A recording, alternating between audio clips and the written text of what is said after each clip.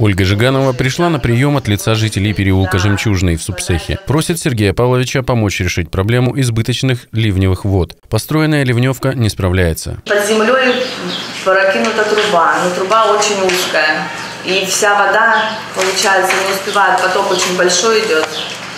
И все сверху. История вопроса в начале 2000-х. Причина в интенсивной частной застройке. Ни продавцы земли, ни покупатели не думали о последствиях своих самовольных решений. Кто-то когда-то сковал деньги, выделил там земельные участки. Я вещи наживаю своими именами, понимаете? Фактически обманул людей. Они ажиотажно эту землю получили. Никто не сделал ни планировки, ни ливневки, ни дорог, ни освещения, ни канализации. Но зато поселили там людей с детьми, со стариками и так далее, и так далее.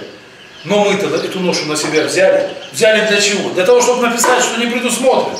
Ответ не предусмотрено, не принят. Поручение главы – выехать на место и найти решение. О проблеме водоотведения, но уже на улице Фрунзе в Субсехе, рассказала Ирина Бодякова. В неблагоприятной зоне три многоквартирных дома. Управляющей компании нет. Жильцам необходимо провести собрание.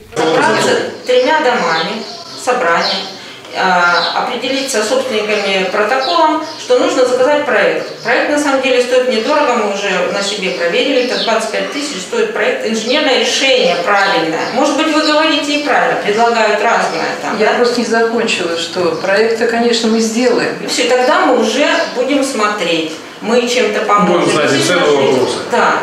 Андреник Мибасян просит отремонтировать участок дороги на улице Восточной. Сельский глава докладывает, дорога разбита во время укладки газовой трубы. Подрядчики не выполнили обязательства восстановить участок. Давайте после приема выезжайте к нему, фотоотчет и исковое заявление в суд о понуждении. Я не собираюсь за кем-то тратить бюджетные средства. Понимаете?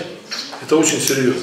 Построить дорогу к участкам для многодетных на улице маршала Жукова обращение многодетной мамы Анастасии Козловой. Мы можем начать строительство, потому что нет дороги. Участок расположен на крутом склоне и просто, как бы, просто так туда не подъехать. Сергей Павлович вызывает сотрудников архитектуры. На рабочих схемах обозначены все границы. Необходимо ввести дополнение в генплан. Глава курорта поручил оформлять документы и начинать строить дорогу. Мы можем пока сейчас, на данный момент, уже предоставить помощь геодезистов с материалами, со всеми и оборудованием. Какую помощь? Отбить... Это мы должны сделать. Нет, я имею в виду, чтобы они посмотрели, отбили мы эту дорогу им. На выездном приеме вместе с главой работали его заместители и руководители городских служб. С личными вопросами обратились 26 человек.